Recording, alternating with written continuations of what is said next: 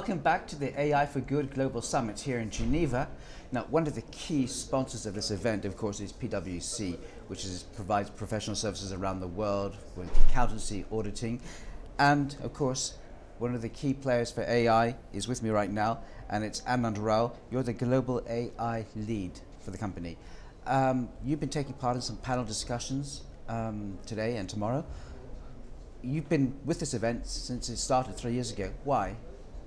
Uh, this is something that's very important to the, uh, the vision of the firm, and we are very much about engendering trust uh, with our clients, with the overall public. So when it comes to that, uh, AI is one of those areas where there are obviously lots of opportunities, but there are a lot of risks as well. So we are essentially advocating a more responsible way of implementing AI for our businesses, but then more broadly uh, around some of the societal issues as well. We are very concerned and want to help with the AI. When you say you're concerned, what are you concerned about? So there are a number of things that are happening in, in AI. So some of the concerns or risks of AI include, uh, if you like, bias and fairness. So that's one aspect of it. The second aspect of it is we are building some of these models. Some of these models are very complex. Now, how can you explain what the model is doing, what the AI is doing to various stakeholders? So it might be an end consumer, uh, it might be a regulator, it might be a business executive who doesn't really understand the details. So how do you actually uh, interpret the, the results? And then there are some safety, security concerns about data, privacy, and so on, specifically with respect to AI. So we look at all of those, and how do you actually govern AI? So people know well as to how do they govern data, uh, which over the past couple of decades, people have got a good sense of how to govern data. But now this is very new in terms of machine learning models, which are different to some of the algorithms that people have been used to. I think also, you know, if we're here at the UN, it's because they want AI to be a force for good for the Sustainable Development Goals. Does that fit into your objectives? Yes, very much so. So one of the things that we have been very much involved when we talk about artificial intelligence is not just businesses, but governments. Uh, there are more than 30 plus governments or national governments implementing AI strategies. So when they implement AI strategy, uh, again, in most cases, they have to be educated as well. So it is the governments, the ministries have to be educated on what is innovation, how can they promote innovation, how can they promote skilling, reskilling of the people. Again, that goes very much to the nature of work and some of the SDG goals we have.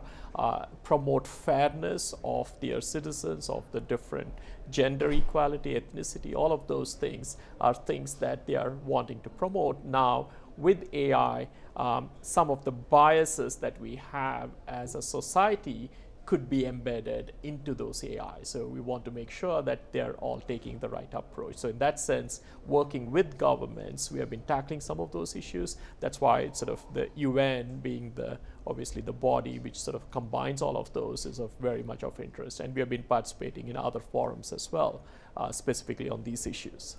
Now, PwC obviously is a worldwide company, it's a global footprint everywhere. Uh, how do you use AI in different ways across the globe, or is it the same approach everywhere? Uh, that's an interesting question. So, in terms of the adoption of AI, it's definitely at different paces in different parts of the world.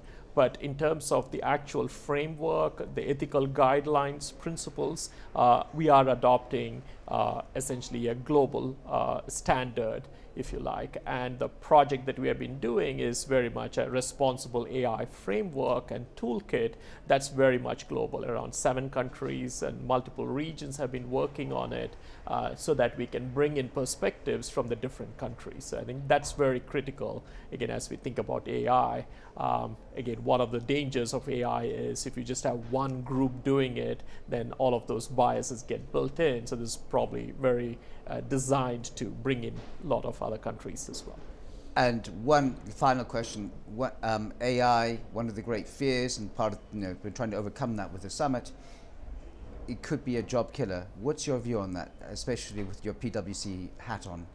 Uh, yes, I think uh, that there are a number of things that uh, uh, that AI will be doing. Uh, there will be some cases where if the job is very repetitive, uh, those will be automated. But there is a difference between tasks getting automated and jobs getting automated. So we believe that there's going to be a substantial proportion of tasks that will be automated, but not necessarily all jobs will go away. So that's one, one aspect to the job losses.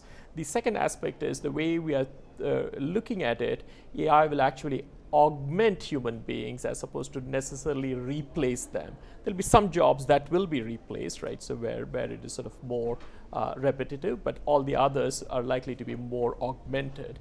And the third aspect to this whole uh, issue around automation and job loss is how do you reskill uh, the, the workforce? Is the workforce as well as getting new skills at the university level, at the, at the education, primary, high school education as well. So governments have started looking at all of those three layers, and that's something that obviously we are very interested in promoting as well. Okay, well that was Anand Rao from PwC. Thank you very much for your time. Thank you.